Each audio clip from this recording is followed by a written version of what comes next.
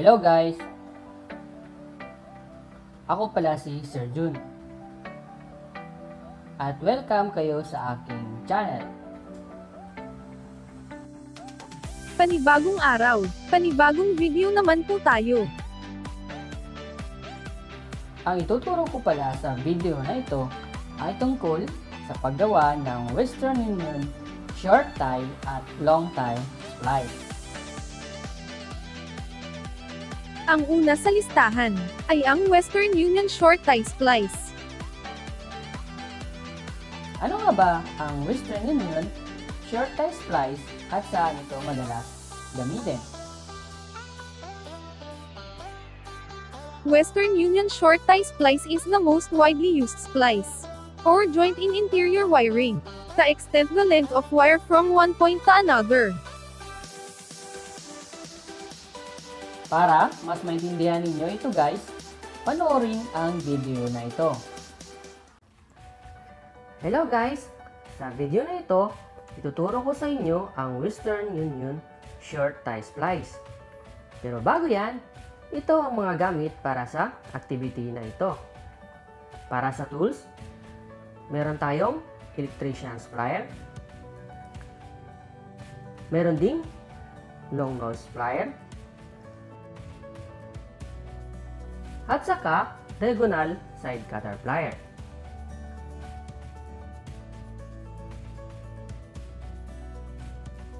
Para naman sa ating PPA, meron tayong gloves,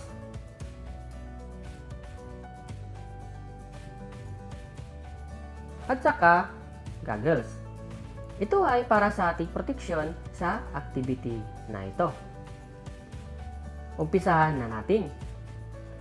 Ang una nating gawin ay balatan ng wire sa pamamagitan ng pagtanggal ng insulation ng 4 inches.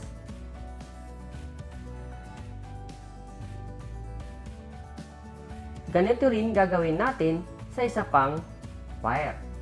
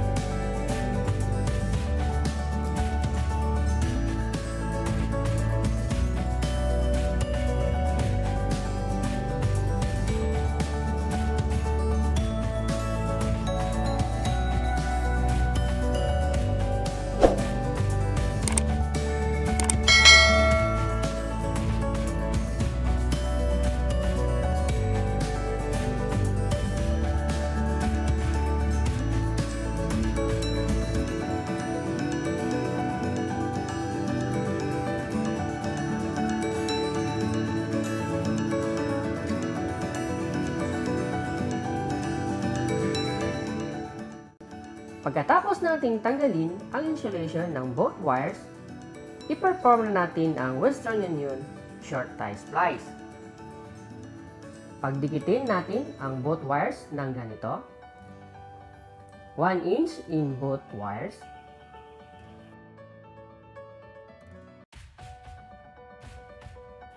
I-bend natin both wires ng ganito.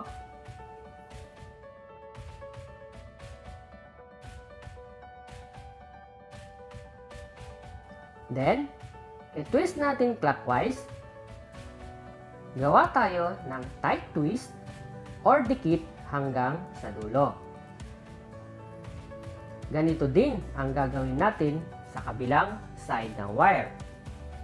Pakisundan lang ang aking ginagawa.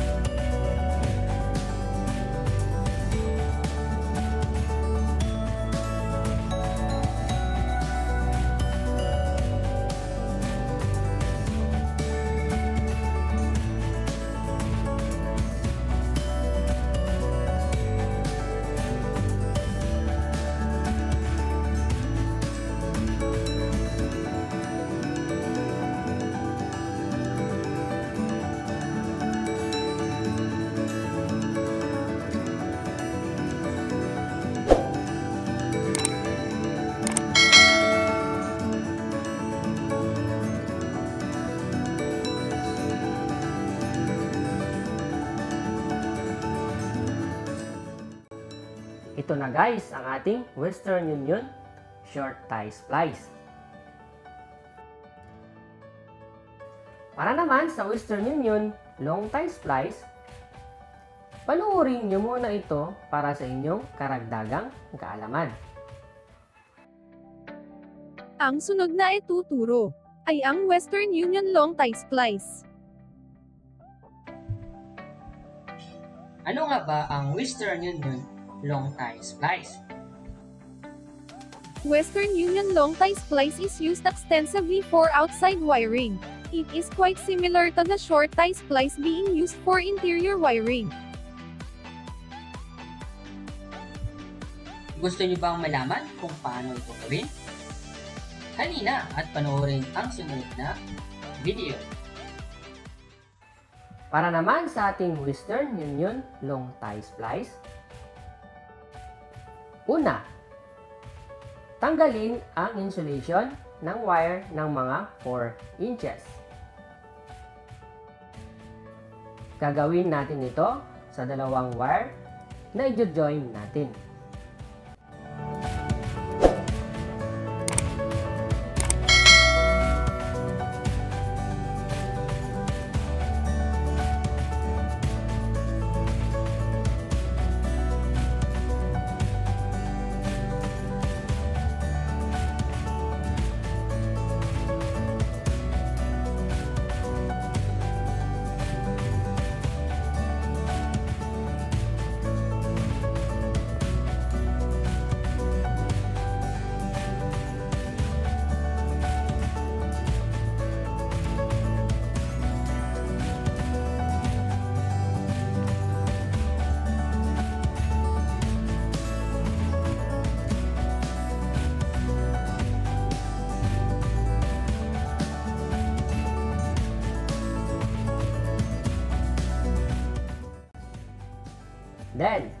Pagdikitin natin ang both wires ng ganito. 1 inch in both wires.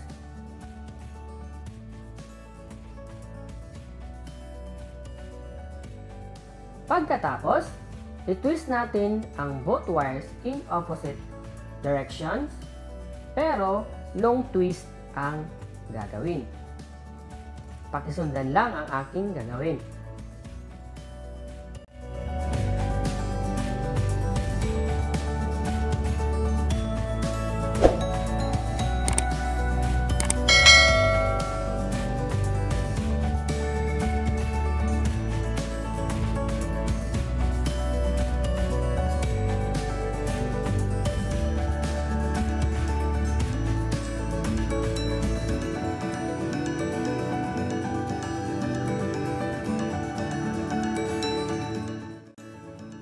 Pagdating sa dulo ng wire, magtitira tayo ng mga 1 half inch.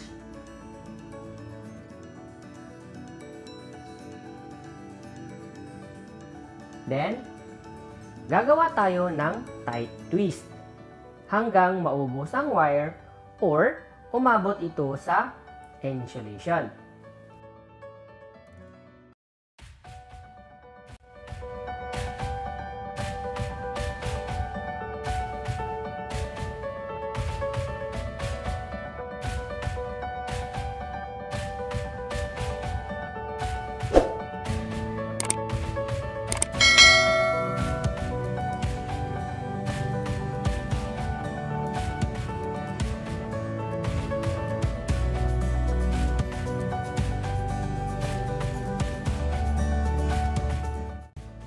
Ganito din ang gagawin natin sa kabilang part ng wire.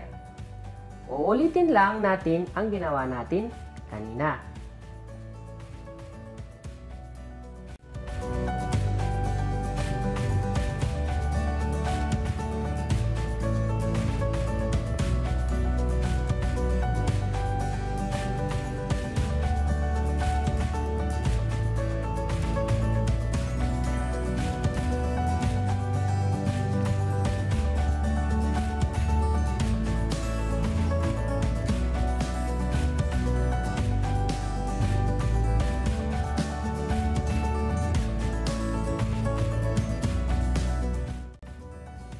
Na guys, ang ating Western Union long tie splice.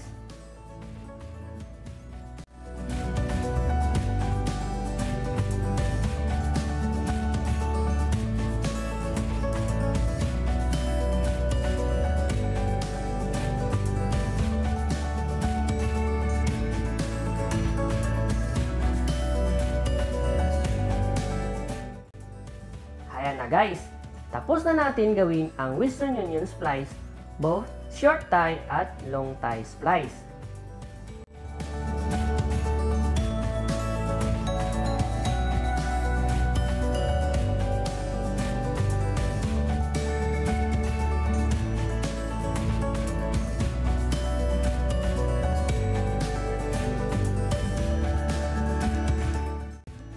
Naway, may natutunan kayo sa video na ito.